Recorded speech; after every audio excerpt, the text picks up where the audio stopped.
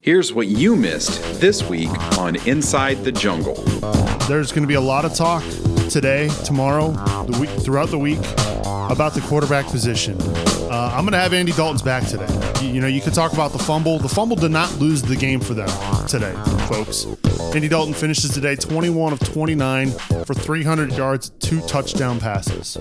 The Monday Report. And if I would have told you that AJ Green would have caught 11 balls for 223 yards, you'd think that you take your chances that the Bengals would win that football game. Well, it didn't happen. Why?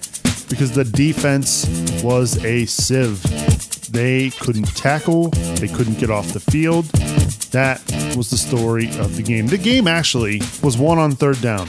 The Pittsburgh Steelers finished the day 8 of 16 on third down. The Bengals were 3 of 11. So when you can't convert third downs and extend drives, and when you can't get off the field on defense, that's a recipe for disaster. Media Day Tuesday. But he made a lot of great throws. I mean, he didn't throw any picks. He, he threw long bombs right on target to AJ Green. He made a lot of plays.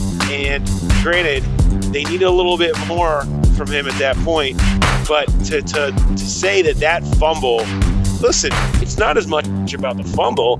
It is about the fumble. That's a big part, but it's about the response to it.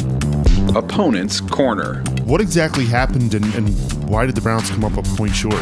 Uh, it's one reason. It's Brian Hoyer, and you know it, it's hard for me to say that. It's hard for a lot of the Cleveland fan base to say that, Nick. But uh, you know the hometown kid who has done and said all the right things, who has come back from that knee injury, and has a winning record as a starter, but recently has just it's been awful.